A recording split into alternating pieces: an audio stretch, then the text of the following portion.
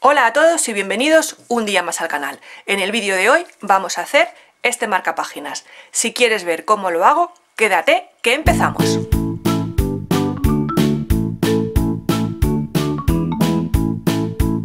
Pues bienvenidos, si es la primera vez que estás por aquí, bienvenido, yo soy Marian y esto es Lunares de Colores.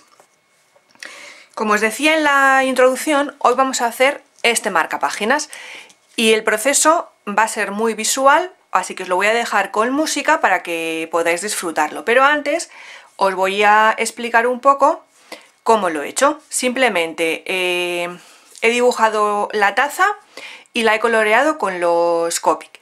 Para colorearlo, si vosotros lo queréis hacer y no tenéis los copies, no es necesario. Podéis hacerlo con acuarelas, con lápices acuarelables, con pinturas de madera normales.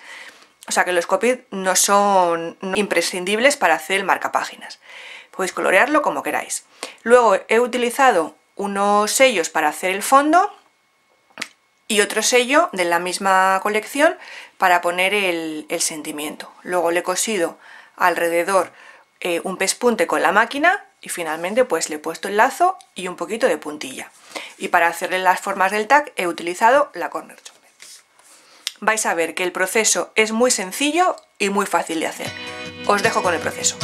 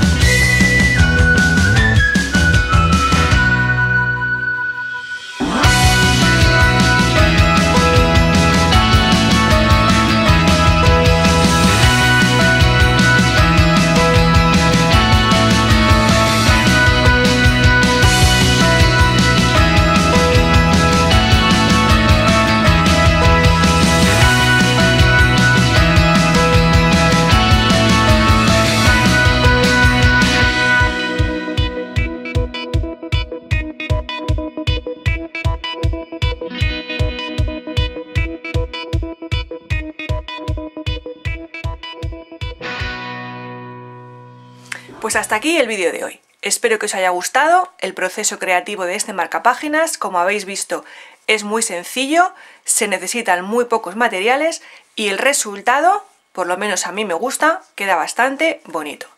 ¿Qué os parece a vosotros? Dejadme vuestras opiniones en los comentarios. Por aquí os dejo el botón para suscribiros y os dejo por aquí también otro vídeo por si os apetece verlos mientras subo el siguiente. Muchas gracias a todos por vuestra visita y nos vemos en el próximo. Adiós.